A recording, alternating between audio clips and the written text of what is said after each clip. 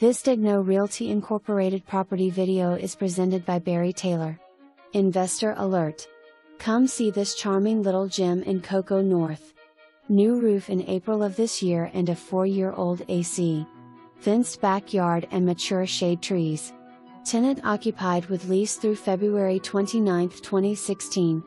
For more information, review the details below or contact Barry Taylor at 321 795 7074.